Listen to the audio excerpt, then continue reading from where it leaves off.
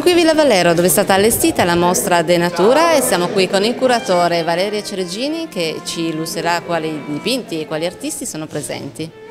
Allora, in questa collettiva sono presenti l'artista olandese Evi Wingerlin, eh, l'artista cinese Chen Li e l'artista italiano Daniele Fabiani. In questa prima stanza che troviamo? Allora, in questa prima stanza troviamo le opere della cinese Chen Li e dell'olandese Evi Wingerling. In questo caso specifico ci troviamo alle, di fronte quindi alle opere di Chen Li. L'artista eh, ha una sua eh, lettura quindi della natura molto orientale, legata quindi alla botanica, ai giardini orientali, a tutto quel canone della natura armonica eh, che lei va a rappresentare e va a rappresentare rappresentare quindi l'armonia che c'è eh, e il contatto quindi con la natura molto più vicino e molto però più legato a una, a una natura eh, botanica, quindi ha un interesse più al floreale. La stessa artista quindi ha, eh, ha assunto quindi un carattere sistematico collezionando immagini che spesso lei stessa eh, scatta all'interno di giardini botanici in Cina, eh, più specificatamente a Pechino, cui, la città di cui lei è originaria, o allo stesso tempo all'interno quindi di eh, nature floreali che incontra nel suo quotidiano.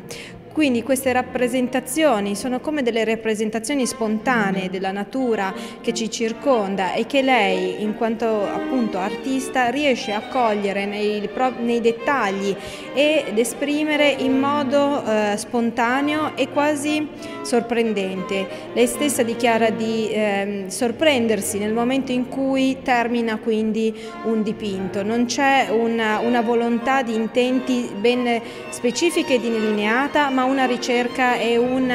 e un interesse appunto come dicevo per quello che è l'elemento botanico e l'elemento floreale che per lei ha una funzione non solo quindi artistica ed estetica ma anche una funzione più legata veramente a quella che è la natura umana. Spesso mh, nei suoi dipinti si possono incontrare nei dettagli elementi appunto della natura floreale come petali o foglie che assumono un carattere umano. Questo fitomorfismo che incontriamo è appunto una sua caratteristica e la peculiarità di quest'artista è che eh, in qualche modo cerca di mh, mm, incarnare o nel caso eh, contrario di eh,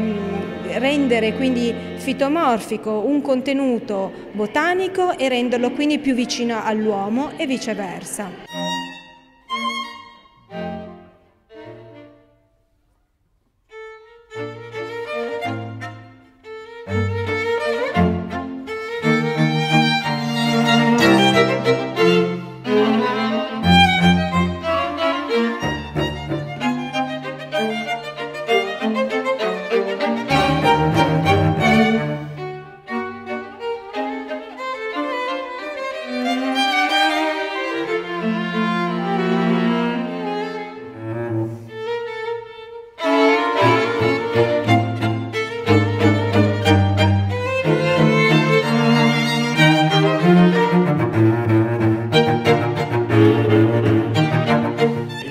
Nostro percorso, siamo ora nella seconda sala, che troviamo?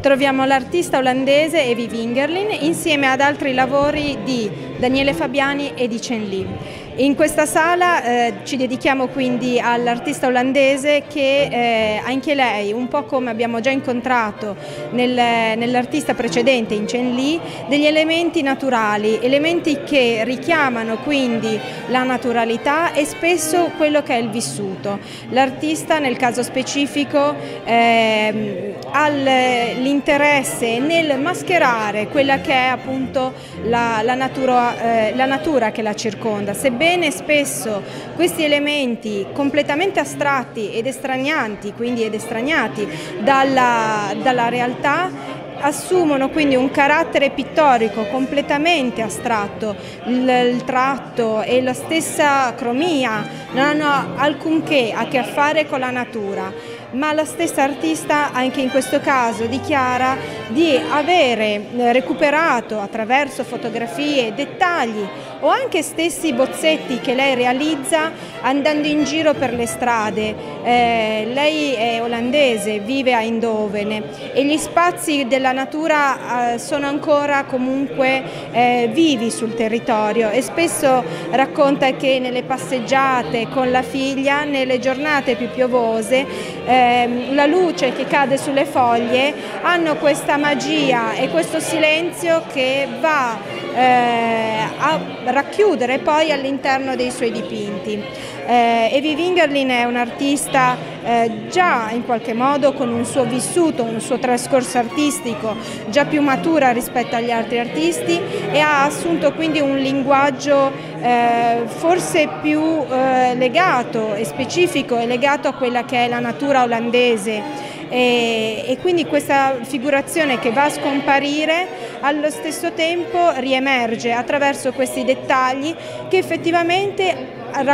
ricordano quelli che sono appunto degli elementi naturali, sebbene l'artista stessa cerchi sempre di eh, appunto attraverso il colore, come dicevo, e il segno di eh, camuffare e eh, allo stesso tempo cerca in tutti i modi di eliminare ogni dettaglio secondo anche quello che è la mancanza di un titolo. Ogni suo dipinto è untitled, senza titolo, proprio perché non vuole dare alcun riferimento all'osservatore che deve essere in qualche modo eh, il più neutro possibile nel momento in cui si approccia alle sue, alle sue opere e provare sentimenti ed emozioni, forse quel silenzio che lei spesso eh, ritrova nelle passeggiate e che racchiude quindi nei suoi dipinti.